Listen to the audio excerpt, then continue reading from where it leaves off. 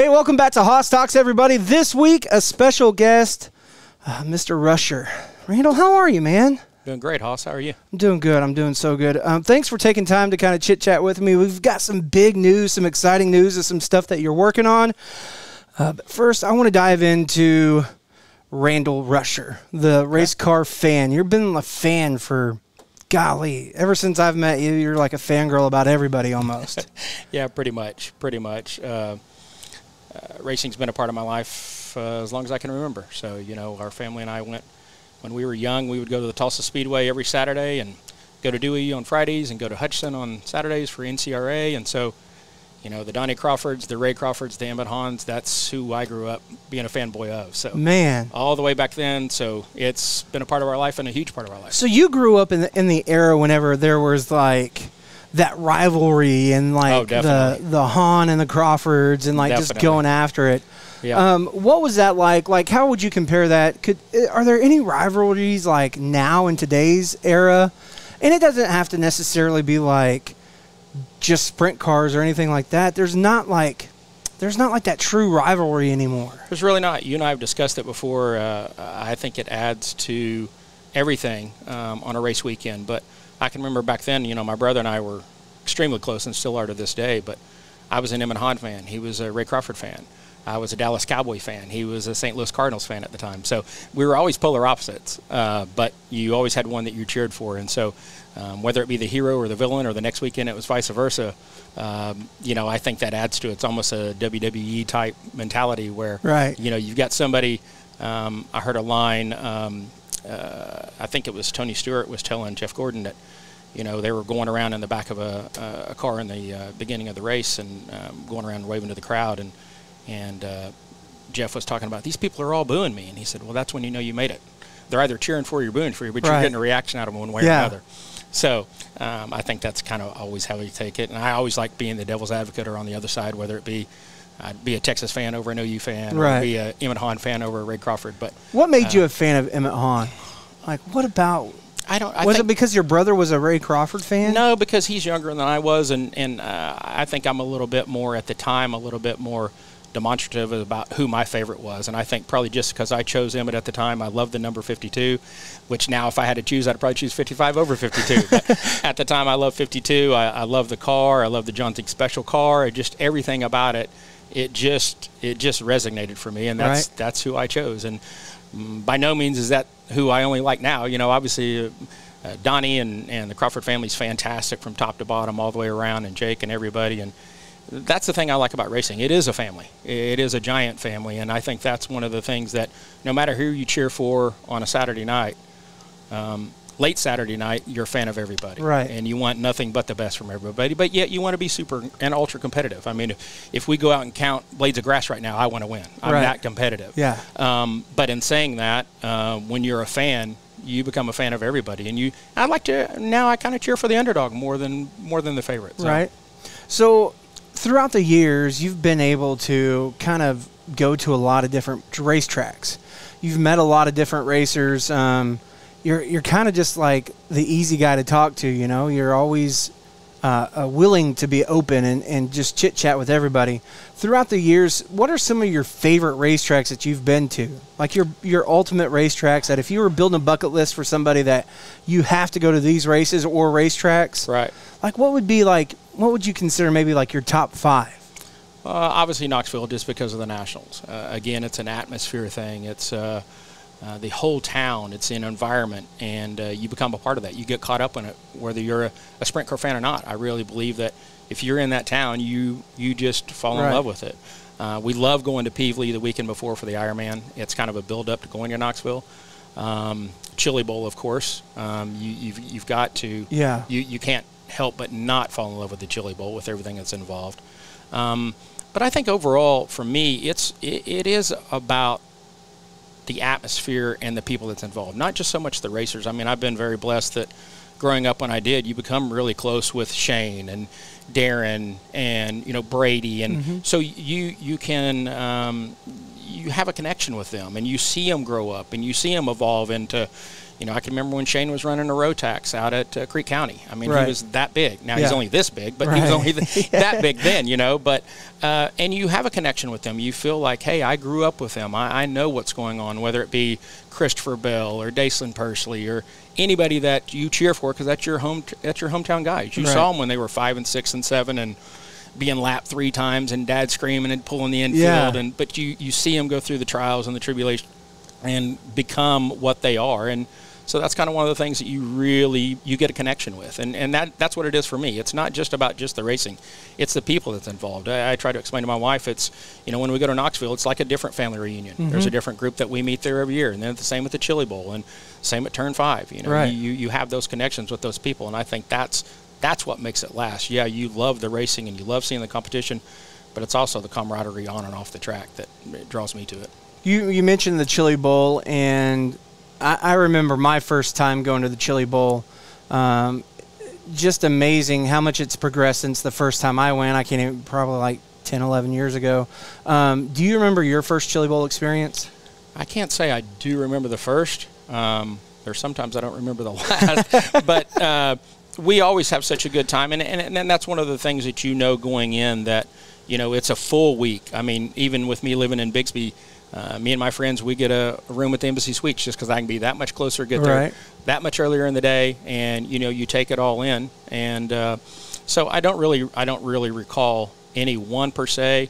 Um, especially not the first one, but it's just a accumulation of all of them. Chili Bowl, you got aren't you part of the group that dresses up and does different costumes? Yeah, a little bit. a little Top row bit rowdy. top row group, yeah. rowdy group. You Yeah. guys get kind of kind of crazy. Like Sometimes. how sometimes. how does how how is that though? Because because of you guys being the top row rowdies, um, and being so vocal. right? Um, you kind of bring some attention to yourselves, and that kind of brings um, along with it uh, kind of the the reputation, and the drivers start It to get into it and It buy does. into it. And now you've had NASCAR superstars making their trip. They're like, "Man, I have got to go to the top Yeah. row rowdies." I've Yeah.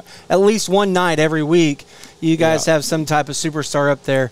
Um, what's that like being a part of that group that's kind of built that atmosphere? Now you have the bottom row boozers, and you know you guys kind of uh, haggle back and forth Oh, and, and, and just have so much fun between everybody there. we love it because again, it's it's a it's a give and take. It's fun, and you like to give everybody a little bit of stick. You know, whether it's uh, Kyle or Rico or any of them coming up there, you'll hear our group. You know, we're we're fanboys, but you're not obvious fanboys. You know what Right. I mean? They're coming up and we're screaming back marker and lap traffic, and you know, I think they eat that up. And I think again, that's one of the things about racing that makes it so unique is, you know, you don't have these fans that are just just groping them when they come up. You know, we respect them, but Right. also, you know, you respect who they are, but you want to respect their privacy, and they're just like the rest of us. Yeah. Uh, some of them just happen to be gassers where we're not. You Right. know, but you respect them and love them for what they do, and and I think in return they feel the same way about us. You know, Yeah. I mean, I think we both need each other. Right. It's kind of one of those things where you know your boundaries and they know their boundaries. Sure, and sure. You just treat them like a normal dude, plain without Jane, a doubt. and without a doubt, and you got and you got to give them a little bit of stick. yeah, you know what I mean. you, gotta got to got to give them some jabs here and there. Sure. Um, over the years, you've been involved with a lot of different people, like drivers, um, teams. Um, your brother raced for a little while. Um, you guys help out a couple of different drivers here and there. You've been a part of different organizations that help different drivers and Yep. and do different things. Um, and that kind of leads us to why, like, the main reason um, why we're meeting today. You're about to launch, or as this is going to air, it's launched. It's live now. Um, in the present tense, it's not, but whenever people are watching this, it's going to be live. Um, dirtcrowd.com Yes, sir. um, is kind of your your your baby right now. It is. It is. Um it's something that we've been working on um, for probably closer to 18 months, maybe even two years. Um, back in uh, 2020, when they had what they called was Knoxville, um, not Knoxville, because of the uh, uh, virus. But I sat down with Shane and Jen at that time, and we had a long conversation about it. And and uh, actually, Shane was going to be our first driver that we launched with at Dirt Crowd.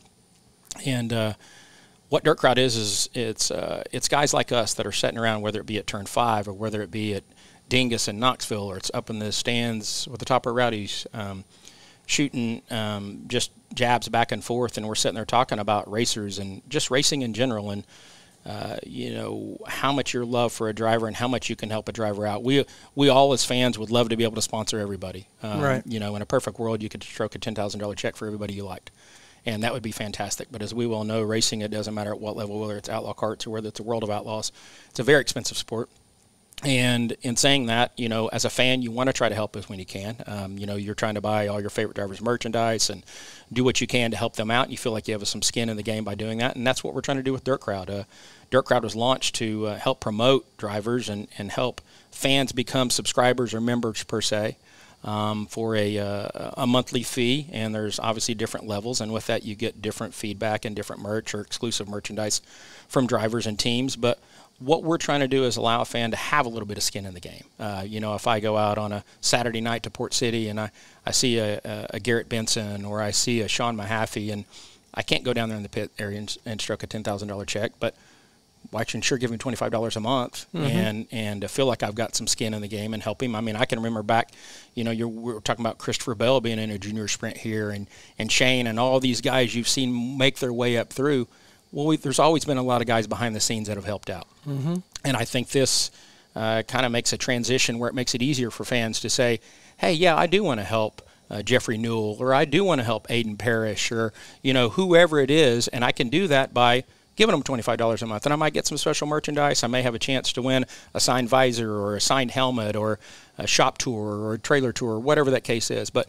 um, and not only saying that, really what we're trying to do is help these younger kids build their brand, um, know how important it is to uh, make that connection uh, with sponsors and partners and fans and and uh, you know you've heard it said a million times. Janky just said it the other day on on his uh, Hoss talks, um, but you never know who's in that pit area, and there are so many people that want to help and want to assist um, but don't really have uh, a way to go about it or don't really know how to go about it. You know, even uh, we've got Rico um, as one of our headline drivers. That's uh, he's going to launch on Friday. Um, so you know, it's kind of one of those things. Yeah, he. If I'm a if I'm a World Outlaw fan or a Rico fan, being in Tulsa, Oklahoma, I don't get to see him that often. I'm going to have to travel to get to him. Mm-hmm. Uh, I've got to, you know, I've got to go online to get merchandise or whatever. So we're trying to bridge that gap um, not only at the top end with the World of Outlaws and the USAC and the All Stars and, and all these hitters, but also the grassroots starting levels, whether it be outlaw karts, micros, junior sprints, that is where I really feel like uh, Dirt Crowd can become a major asset for drivers and teams, and that's what we want to be. Right. Um, you know, we want to help bridge that gap and and be able to let them talk to Rico, whether it's a Zoom call or whatever, and get drivers together at Turn Five and have what we call a lunch and learn, where we discuss what Dirt Crowd is and, and bring in 40 drivers and say, look, this is what we're trying to do. This is the path. We've talked to guys. We've got guys that are drivers with Dirt Crowd right. that have went through this. You know, you don't want to just carry around a helmet bag and your shocks all the time and be told on Monday, "Hey, you're out of a ride." Yeah. You know, Unbolt gotta, your seat. You're gone. Yeah, because it happens all the time. But if you can learn to build your team, a Brian Brown, a Rico Abreu, where hey, I'm going to make this my team. So on Monday, I know I've got a job. I don't mm-hmm. have to worry about pulling out a seat because they bridge that gap. They make those connections with partners and fans. They're good about promoting their product. They're good about their sponsors getting return on investment. And that's what we want to be for Dirt Crowd. We want all of our fans to be able to help feel like 10 years from now, eh, man, Garrett Benson, Aiden Parrish, Sean Mahaffey, I can remember they were that young. And yeah. I can remember when, you know, I was a member of Dirt Crowd and for $25 a month, I got an exclusive t-shirt, maybe a signed visor or a pair of gloves. And right again, you feel like you have some skin in the game. I, am helping them along the way. Right, so, helping them bridge the gap and, and kind of teaching them along the way too. As, as the gra- as the grassroots, um, the younger the kids are, they're not they're not so knowledgeable. Mom and dad may not know as much, and kind of you and your team are, are building something um, to kind of help them find their path and fine tune things yep. um, along the way. Dirtcrowd.com.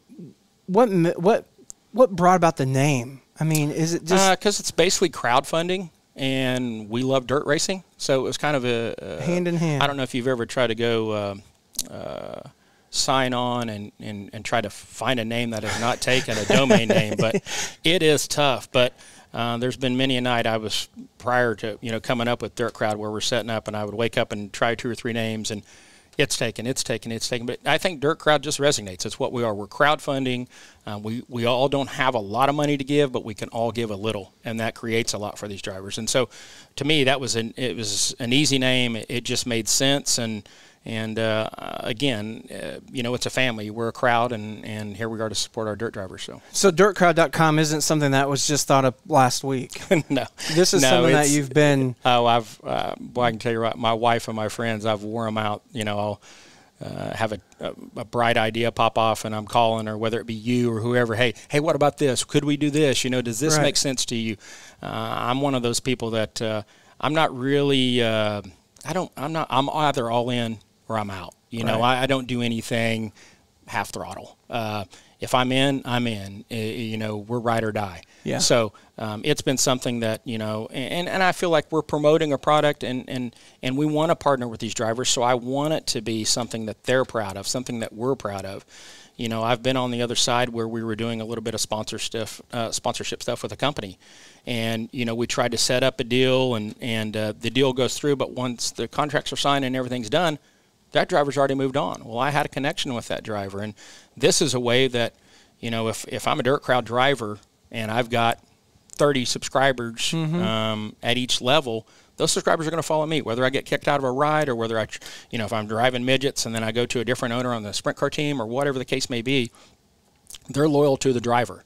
And you know that's the thing I like. It, it, you know they can promote it themselves. We can uh, cross pollinate. You know if if Rico posts and you know all of a sudden that drives more traffic to Dirt Crowd and, and that dwindles down and they see a Kaylee Mahaffey or mm-hmm. you know they see somebody else, that's when you can make that connection. You know, it's not just about seeing them at the hometown track. Right. You know, we have those connections with those guys, and we've been fortunate where we live to have that. But you know, I've got friends in Cali now that are racing. You know, Colby Copeland, and you know, he'll tell me about some young and up and comers, and, and we're so blessed now to have all the streaming service that I can actually put watch, eyes on yeah. him and watch him and say, yeah, I do like him, and I like how he carries himself. I, I like that when he rolls into the pit area, his stuff's always clean. You know, mm-hmm. there's a lot of things I think uh, the younger generation and the younger kids need to learn. It's not just about your results on Saturday night. There's so much that goes into that and leads up to it that. Um, you know, I think there's a lot of life lessons in racing, and, and, and in saying that, I think Dirt Crowd can help bridge the gap a little bit in that, as well as, you know, here's how you need to approach sponsors. Here's what you need to do to to broaden your reach, and that's what we're trying to do. Whether it be, you know, it's not just about your bio and not just about you can get subscription and money from memberships. It's about learning how to handle the process of wanting to be a race car driver and possibly own your own race team. I mean, you want a polished product. You know, you see Keith that was in the midget area, and now he comes down to the micro area, and it just makes sense. Mm-hmm. The quicker you can get your hands on the quality kids or the ones that have what you think is the ability, the better off you can make them long term. So, us as being involved in the micro world, if, if you can polish that child where he's, hey, he's good in front of the camera, he knows how to talk to sponsors, he's good at promoting his brand, you know, he talks about his race results, um, he shows you where you can get your merchandise. Those are all things that build up to, they're all having to do now at the outlaw mm-hmm. level. And they didn't have that uh, dirt crowd right. to say, hey, here's kind of the blueprint. Here's what you need to follow. We want to assist you in doing that. And for me, that's that's the big give back. That to me, that's what at night when I say, yeah, we want it to be successful for many reasons, but a lot of it is to think if we could have had something like this when it was Brady and when it was Shane and when it was Darren, mm-hmm. you know, you've already moved along. And a lot of those guys do bring back a lot of knowledge. I mean, having Shane here and me being able to bounce ideas of, about Dirt Crowd off of Shane, you know, those are all things that he's lived through. Those are processes he's went through. Right. And if the earlier we can learn that, the better off we're all going to be. So we're super excited about it.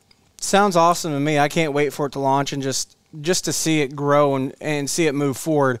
Um, aside from everything else, racing, like some rapid fire questions. Are you like a guy that likes a big big track or like a bull ring? I like cowboy up bull ring. Uh, I really do. I, don't get me wrong. I, I love the big track stuff, but you start hearing a little bit more now about dirty air and stuff like that. You know, and it's all about motor. To me, to me, I like watching a driver. I like being in the infield at Pevely and watching them work the car, and you know, got to get elbows up. That place is so amazing. I love it. Gosh, I love it. And it's, it's a lot. So it's fun. a lot like port. That's why I think yeah. port translates so well. You, if you're good at port, you can be good anywhere in the country. And I think when you're good at port, that means you know you're in tight quarters. You're driving against quality drives. I mean, you, you look at the, the car count here and the quality of cars that are here. It's amazing, it's and, I, and I think it's it's a great breeding ground for kids to get experience and, and learn to to be competitive and drive. Because if you're fast here, you're fast anywhere. Has there ever been a want from you to be that driver, to be a driver, or have you, have you always been more so like? Not, not really. I, I, I was uh, I would have had to have been a late bloomer um, as a racer. Uh, don't get me wrong. I would love to. I would love to think I would like to hop into a sprint car or midget and, and uh, idle around about 30 miles an hour and think I'm going 150. can uh, slide Shane, but no, uh, not really. I mean, if I had to go all the way back and I could redo it, yeah, because it's how much I love the sport. But in saying that, I kind of know what my role is now and what I can bring and what I can provide, and I love being a fan and being able to watch racing four nights a week. You know, with the streaming services, uh, services and and uh, I know now just. Uh, being a little bit longer in the tooth, um, you know, you've seen a lot, and you've seen a lot of guys come up, and hey, if we could have done this back then, or they could have known this, or you know, uh, to me that means a lot, and I, I feel like that's what we can give now. You know, uh, not only support, but um, whether it be financially or emotionally or whatever. I, I think anything we can do to help um, the younger generation, especially on the track, is fantastic. So Janky Bobby stole your piece of advice that you would give that you know did, nobody would did. ever nobody you you never know who's watching you never He know did. who's going to come walking through your pit area. Um, you've seen a lot of different drivers come. You've seen some drivers go away and then come back, and you've seen um, sponsors come and go, and you've seen fans come and go. You've Yep. been around it a long time, um, involved in what I would consider, um, you know, the the racing capital, secondary to to Indy. Tulsa has a lot to offer and has a They lot do. going on. They do. Um, so, without giving the same piece of advice to close out the show here, what piece of advice, what lesson would you kind of prep people for? Whether it be driver, fan, sponsor. I, I think it's the um, overall. I would say it's the amount of passion the fans have in the sport, and and I and when I when I say fans, I mean I, that includes drivers. I mean I I talk to a lot of drivers. I'll text at night, and you know we'll talk about watching so and so in a non-wing sprint car, a USAC, maybe an outlaw driver I'm talking to. Um, we're all fans of the sport, uh, and we all want to see it grow. Um, and, and to me, the best the best piece of advice you could give is, you know, you, you're going to learn that we're all going to have ups and downs. We're all going to have tough periods of time. But the better you can treat people, and there's people watching no matter what you're doing. It doesn't matter if we're in turn five or if we're in the pit area and I'm helping push off a car or whatever it is. People are always watching, and, and what you can do and what you, how you handle yourself. Um, I know as being on the other side of wanting to, to write a check for somebody, that means a lot. They're representing your company. Um, I'm partnering with them. I, I think the word sponsor's gone. Uh, we're partners now, um, and that's how I look at it. And uh, I think that's the most important thing for everybody to realize that we're all one giant family. Everybody's trying to go towards the same goal, and uh, hopefully with Dirt Crowd we can push that and make that an easier um, bridge to gap for everybody, and, and everybody has fun. We have skin in the game. Dirt Crowd, we have a lot of things we really want to do. I've got grand aspirations for Dirt Crowd as far as helping drivers and, and have giveaways for drivers. You know, on the other side, we're doing that for fans, but I want to do it where, you know, drivers may, this month it may be a fire suit we're giving away. This next month it may be a helmet. It may be a ride in a, a midget. It may be a, a ride in a micro. Um, anything that we can do to help promote is what we're all about. That's what we want to do because we are a family. I mean, at the end of the day, we all want to help out, uh, whether we're announcers or whether we're fans or sponsors or drivers or a car owner, track owner, even. We're all here for the same common goal, and that is to. It's for dirt racing in general, and, and it's a love and a passion we all have, and, and I've got the bug, and I'll have it the rest of my life. So There it's just the way it is. Race fans, keep the passion, keep that fire deep down inside, and hey, check out dirtcrowd.com to help your favorite race car driver. Thanks, Hoss. Appreciate it. Will. Performance Electronics, custom electronic solutions. From design to manufacturing, let us put your ideas in motion and become your company's full service electronics manufacturing experts. Performance Electronics.